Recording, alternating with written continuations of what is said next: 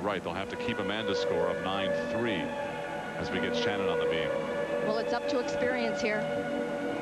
Quite capable of matching Lilia Podkopayeva's score, which is a 9-7, the highest score so far on this event. She can do it.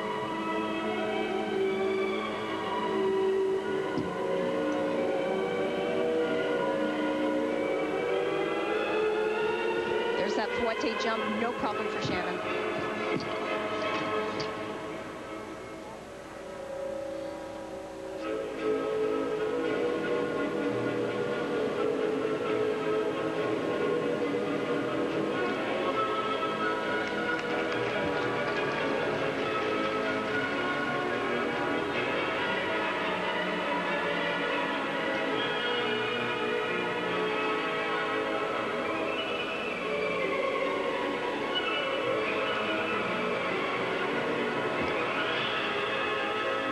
What you're seeing here is experience.